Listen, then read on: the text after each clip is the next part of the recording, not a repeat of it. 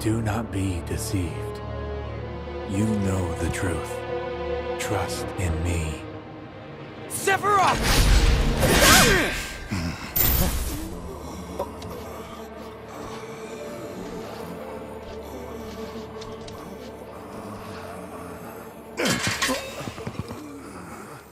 The hell's gotten into you, man?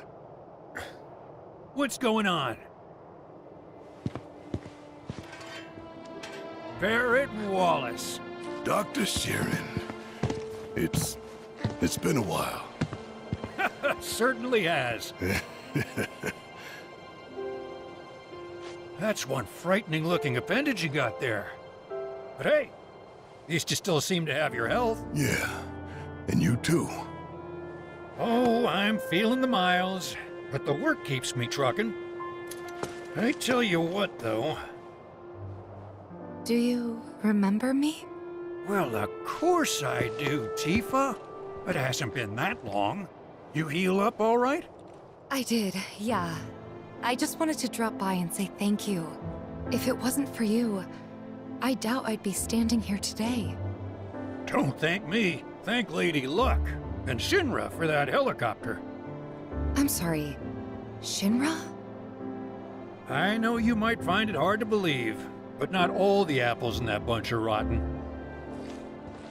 But seriously, you're living proof of the good in people. Don't ever forget that. It'd be a pity to let their kindness go to waste. Yeah. Besides, you need to set a good example for your friends here.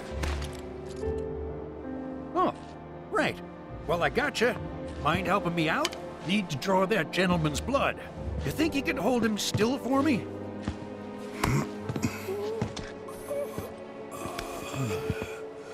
At first, I thought it was just Mako poisoning. It is until I ran some tests. The results were strange. Strange how? A substance turned up. One I've never seen before. Not sure what to make of it yet, but it did remind me of one I have seen. Your eyes. Soldier, right? X, soldier. It's not a job, son. Once a soldier, always a soldier. Huh. Spare a drop? No. I ask because I suspect there's soldiers suffering from cellular degradation. Just a theory for now, and one I can't prove, not without a lot more testing. You see many of these guys come through? Yeah, and then some. I do what I can for the injured ones, but leave the rest to stumble onto the saucer. Why would they go there? Shit. Don't ask me. I think it's odd too.